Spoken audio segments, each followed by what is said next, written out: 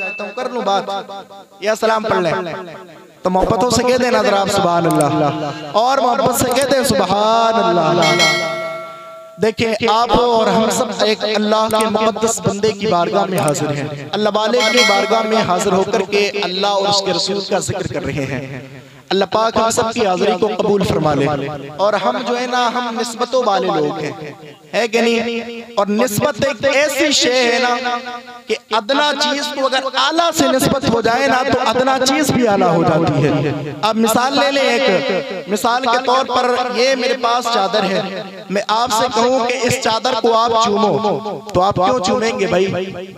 आप क्यों चूमेंगे आप कहेंगे भाई आपकी चादर आपने इससे मुँह पोछा क्या किया क्या नहीं किया हम क्यों चूमे इस चादर को? लेकिन अगर इसी चादर को धोया जाए उसके बाद जो है ना पुराने पाक का जुस्तान बना दिया जाए पुराने पाक के ऊपर इस चादर को चढ़ा दिया जाए तो फिर कहने की कोई नौबत पेश नहीं आएगी। है कि नहीं? हाफिज साहब उठाएँगे पुराने पाक को चूमेंगे और पुराने पाक के साथ साथ चादर को भी चूमा जाएगा लेकिन इसलिए अगर छोटी चीज़ को बड़ी चीज़ से निस्बत होती है ना तो छोटी चीज़ भी बुलंद हो जाया करती है। और हम नस्बतों वाले लोग हैं। हम नस्बतों वाले लोग। और देखिए, नस्बत के फ़ायदे मिलते क्या क्या है। एक क्या क्या फ़ायदे मिलते, आपने एक नाम सुना होगा। एक शहर हुआ, तोसा शरीफ। कौन सा शहर बोले जरा। तोसा शरीफ। मोहब्बतों से बोल दे तोसा शरीफ तोसा तोसा नाम है। वहाँ के बुज़ुर्ग हैं। बड़े जो है ना अल्लाह वाले। अल्लाह पाक के महबूब बंदे आलिम बाअमल एक नाम है अल्लामा तोसबी रहमतुल्लाहि ताला अलैह। एक आप बड़े अल्लाह पाक के महबूब बंदे। आपका मामला जो है ना ये थे कि आप एक आलिम थे एक मस्जिद में आप नमाजें पढ़ते थे।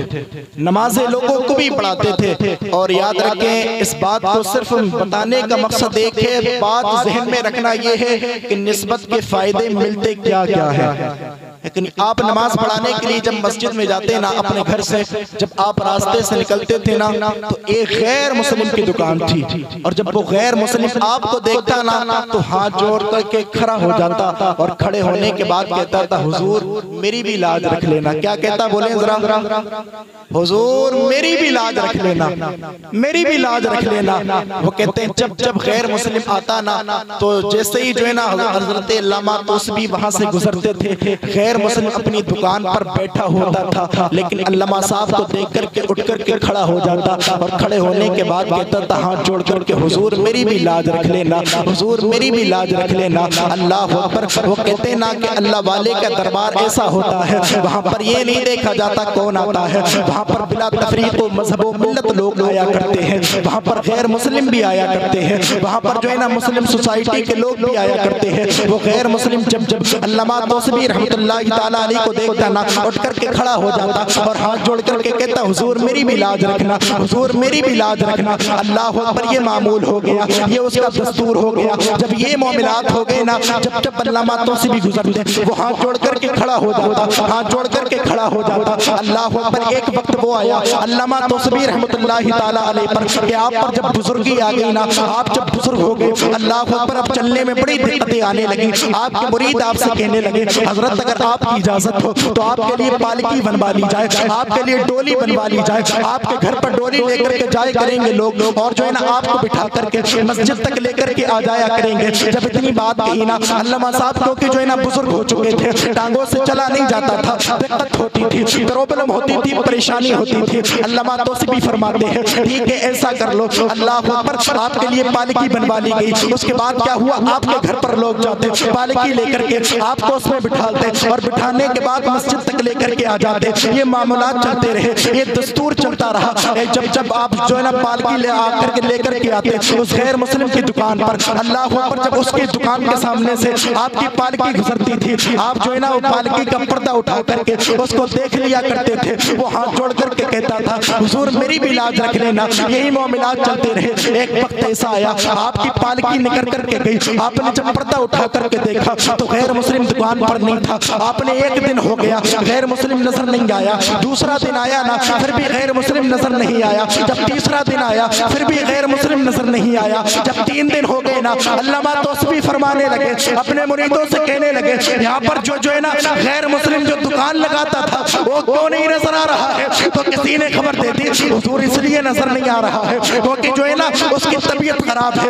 ये सुना गया है उसके ऊपर बड़ी जो है ना बुजुर्गी आ गई है वो बीमार हो गया है वो घर में लेटा हुआ है। जब अल्लामा साहब ने ये बात सुनी ना, आप देखे, वो भी कितनी मोहब्बतें करते थे गैर मुस्लिम से। वो फरमाने लगे, अब हमारी पालकी यहीं पर रोक दो और पालकी उठा करके उस गैर मुस्लिम के घर पर चलो। जरा देखे तो सही, हमारे दीवाने के हाल क्या है? उसके ऊपर क्या गुजर रही है? अल्लाह अकबर, जब इतनी बात कही ना तो आपके मुरीद कहने लगे, हुजूर वो गैर मुस्लिम है। हुजूर वो हमारे मज़हब का नहीं है। अल्लामा तोसफी फरमाने लगे, अरे, हमारे मज़हब का नहीं तो क्या बात है? मोहब्बत तो हमसे करता है ना। अकीदत तो हमारे लिए उसके दिल में है ना जब ये बात कही ना, उस वक्त अच्छा गैर मुस्लिमों का जो है ना एक तरीका था। उनका तरीका ये था कि जब कोई बंदा उनके घर पर अगर किसी का आखिरी वक्त आ जाता ना तो उसको चारपाई से उठा करके नीचे निकाल देते। और दूसरा तरीका ये था, उससे किसी से भी मिलने नहीं देते थे। जब उसका आखिरी वक्त होता, इस गैर मुस्लिम की तबीयत बड़ी नासाज हो गई, बड़ी बेकार हो गई। अल्लामा तोसफी के मुरीद जो है ना, उस गैर मुस्लिम के दरवाजे पर आपको लेकर के पहुँचे।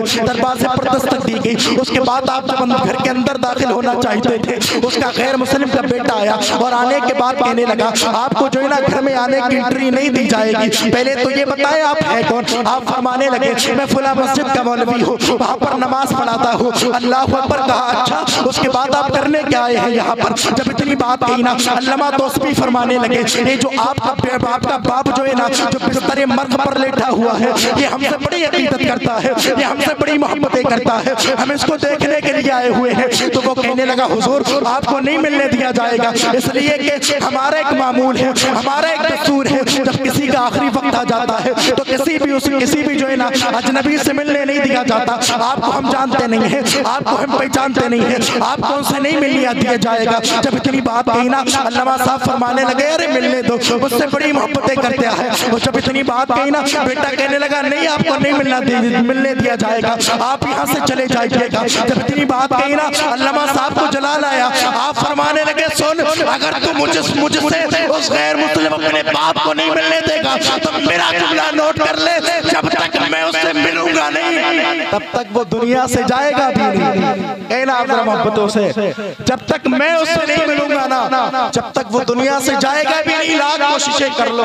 अच्छा देखते हैं। जब काना देखते हैं, अब अल्लामा भी चले गए मस्जिद गए नमाज़ पढ़ाई घर आ गए। उसके बाद क्या हुए? इधर इधर गैर मुस्लिम का हाल ये, कि वक्त आखिरी चल रहा था। लोगों को महसूस भी हो रहा था। लेकिन एक दिन गुजर गया। दो दिन गुजर गए। तीन दिन गुजर गए। एक हफ़्ता गुजर गया। अभी तक गैर मुस्लिम का जो है ना जिसम से रूह का ताल्लुक जुदा नहीं हुआ है। अभी तक जो है ना वो दुनिया से नहीं गया।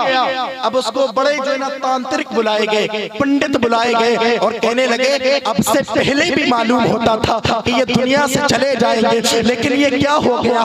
आठ दिन गुजर गए अभी तक दुनिया से नहीं गए बेटे बड़े परेशान हो गए। जब इतनी बात कही ना, एक पंडित आया, आने के बाद कहने लगा, ये बताओ, आखिरी वक्त से मिलने के लिए कौन आया था? जब इतनी बात कही ना उसको गैर मुस्लिम का बेटा कहने लगा, एक बाबा आया था फला मस्जिद में नमाज़ पढ़ाता था, वो आया था, कहने लगे, बातचीत क्या हुई थी? अल्लाह पर कौन सी बातें हुई थी दरमियान में? वो फरोज का बेटा कहने लगा, बात ये हुई थी, वो मुलाकात करने के लिए आए थे, लेकिन हमने उनसे मिलने नहीं दिया था। फिर उन्होंने क्या कहा था? गैर मुस्लिम का बेटा कहने लगा, उन्होंने कहा था, जब तक हमसे मिलने नहीं दोगे? जब तक ये दुनिया से जाएगा भी नहीं कहा तुमने गुस्ताखी बहुत बड़ी कर दी। क्या गुस्ताखी कर दी? कहा जल्दी से जाओ? उस मौलवी को बुला करके लेकर के आओ। अल्लाह अकबर इसका बेटा भागता भागता गया। अल्लामा तोसफी के दरवाजे पर दस्तक दी। अंदर से आवाज़ आई दरवाज़ा खुला हुआ है। अंदर आकर के हाल चाल अपने खबर दे दो और हमारी खबर ले लो। अल्लाह अकबर जब इतनी बात की ना गैर मुस्लिम का बेटा कहता है मैं आपके घर के अंदर नहीं आ सकता। अलबत्ता आप दरवाजे के बाहर आ जाए। आपसे कुछ बात करना चाहता हूँ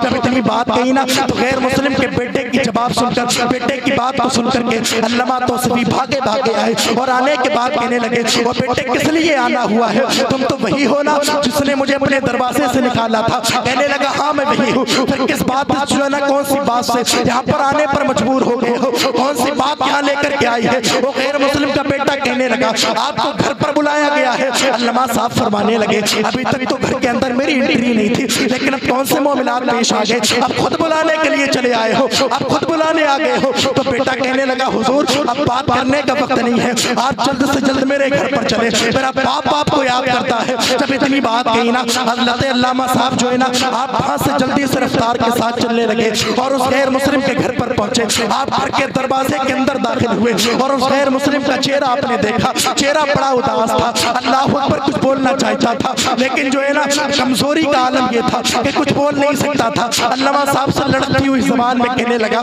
मैं तो आपसे बड़ी मोहब्बतें करता हूँ, लेकिन मैं जब से बीमार हुआ हूँ, आप मुझे देखने के लिए तक नहीं आए हैं। अल्लामा साहब फरमाने लगे, मैं तो आया था, लेकिन तुम्हारे बेटे ने दरवाजे से बाहर निकाल दिया। गैर मुस्लिम कहने लगा, हुजूर जो है ना, अपने मुहिब के साथ ऐसा सलूक तो नहीं किया जाता ना। आपको तो बहुत पहले मुझसे मुलाकात कर लेनी चाहिए थी ना। अल्लाह साहब फरमाने लगे, अब मैं तेरे पास आ गया हूँ, अब पता क्या कहना चाहता है? अल्लामा साहब का चेहरा देखता रहा अल्लाह पर चेहरा नूरानी था।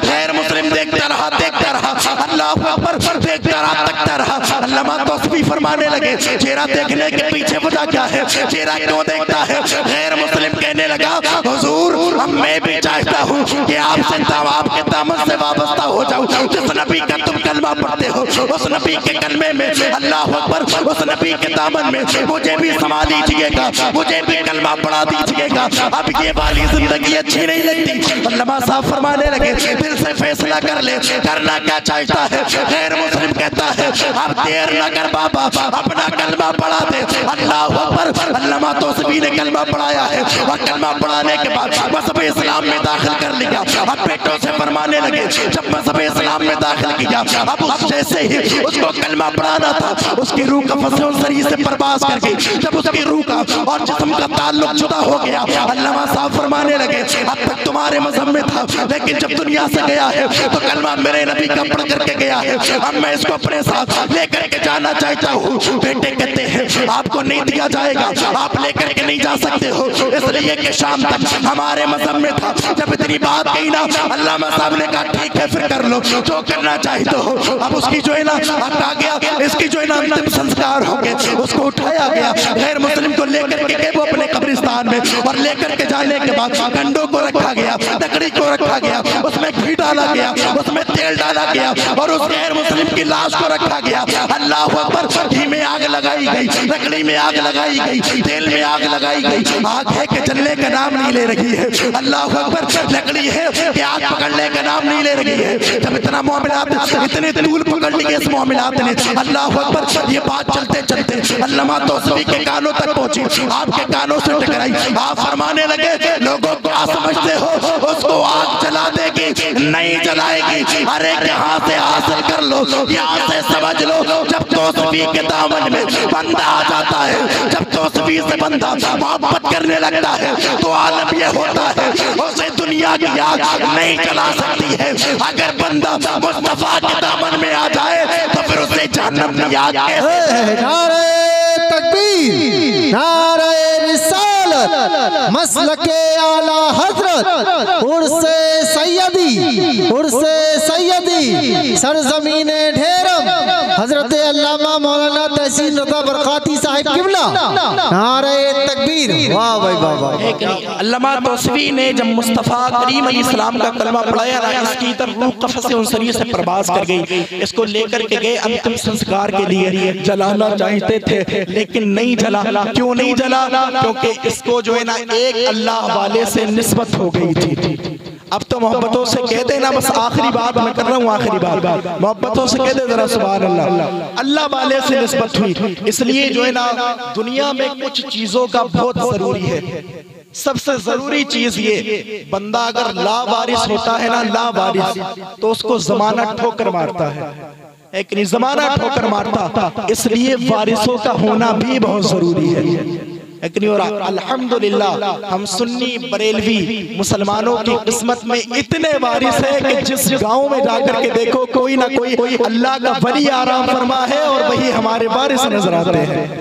लेकिन बारिशों का होना बहुत ज़रूरी है। इसलिए इन अल्लाह वालों से अपने रिश्ते मज़बूत कर ले लेकिन सच्ची अकीदत कर ले। अगर बंदा इनसे सच्ची अकीदत कर लेता है ना, अगर बंदा सच्ची मोहब्बत कर लेता है तो फिर अल्लाह वाले के सत्ते में अल्लाह पाक उसे दुनिया और आखिरत में कामयाबी अता फरमा देता है। इसलिए इनके इनसे जो है ना, रिश्ता मज़बूत कर ले, इतना मज़बूत कर ले, इतना मज़बूत कर ले, इतने अच्छे से इनके दामन से मुंसलिक हो जाए, इतने अच्छे से जो है ना, इनकी तालीमात पर अमल कर ले, ताकि मैदान मिशर में हुजूर सक्कत बाबा हो अल्लाह अकबर। और आपको देखे तो देख कर के कहने लगे, अगर फरिश्ते जो है ना, हमें घसीट करके जहन्नम की तरफ़ को ले जाने लगे, हमारे अमाल की सजा देने के लिए तो सक्कत बाबा कहने लगे, इसे ना लेकर के जाओ, इसलिए कि ये दुनिया में मुझसे मोहब्बतें करने वाला था। इतना मज़बूत रिश्ता बना ले, इतना मज़बूत। और हम बड़े खुश नसीब हैं, बड़े खुश नसीब हम लोग, के है कि नहीं, अहले सुन्नत वल जमात में सारे औलिया ही पैदा हुए हैं। आप दूसरे लोगों की तरफ़ जाएँ जरा और उठा करके देखें थाना भवन में बसने वाले मुल्लाओं को। आप देख लें, उनकी जो है ना कब्रें खोदेंगे तो आपको कफन तो दरकिनार उनकी हड्डियाँ तक साबुत नहीं मिलेंगी। फरिश्तों ने मार मार करके मिट्टी बना दिया होगा। हड्डियाँ भी सलामत नहीं मिलेंगी, लेकिन अहले सुन्नत वल जमात पर, सुन्नी बरेलवी मुसलमानों पर अल्लाह पाक का इतना बड़ा फजलो एहसान है। अल्लाह पाक का एहसान अजीम ये है कि आपने नहीं देखा उठा करके इनकी तारीख को देखे। इनकी हड्डियाँ तक सलामत नहीं मिलती। लेकिन एक जनाजा दुनिया में रहते दुनिया ने देखा था। अल्लाह अकबर अब से तकरीबन तीन साल पहले एक जनाजा बरेली से उठा था। हुजूर ताज शरिया का उठा था। अल्लाह की कसम इनके किसी एक बुज़ुर्ग को उठा करके देख ले। सबसे बड़े मुल्ला को उठा करके देखे। अल्लाह की कसम अगर 24 घंटे इनके जनाजे को रख दिया जाए तो पत्नी फूटने लगेगी। बीबी भी लाठी मार करके कहेगी जल्दी कब्रिस्तान लेकर के जाओ। लेकिन एक जनाजा बरेली की ज़मीन से उठा था। आले सुन्नत वल जमात से ताल्लुक रखने वाली शख्सियत का खुदा की कसम 24 घंटे नहीं 48 घंटे तक हुजूर ताज शरिया का जनाजा रखा रहा था। लेकिन जब 48 घंटे के बाद आपका जनाजा उठाया जा रहा था, बरेली की जिस जिस गली से आपका जनाजा जाता रहा था। अल्लाह अकबर एक एक गली में मुझको अंबर की खुशबू नज़र आती थी मुझको अंबर की खुशबू आ रही थी। और दुनिया को ये दर्श देता नज़र आ रहा था और गोया ये जमाने हाल से फरमाया जा रहा था कि ज़मीन मेली नहीं होती समन मेला नहीं होता। मोहम्मद के गुलामों का कफन मेला है कहीं।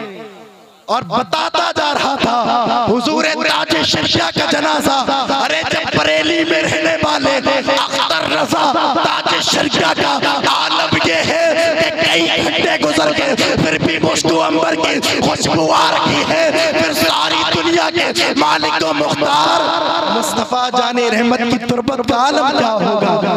नहीं, जब उनके भर देते हैं, शाहाने जमाना की झोली। मोहताज का जब ये आलम है, मुख्तार का आलम क्या होगा? अल्लाह पाक से दुआ है मौला पाक, हम सबको बुजुर्गान दीन से सही मानों में सच्ची मोहब्बत करने की तौफीक अता फरमाए। अल्लाह पाक हम सबको मुस्तफ़ा करीम सल्लल्लाहु अलैहि वसल्लम की सच्ची मोहब्बत अता फरमाए, जो भी दौरान गुफ्तगू अगलात हुए हैं, मौला पाक उन सबको माफ़ फरमा के हम सबको अमल करने की तौफीक अता फरमाए। अब जरा कलमा शरीफ पढ़ लें, ला इलाहा इल्लल्लाहु मुहम्मदुर रसूलुल्लाह व मा तौफीकी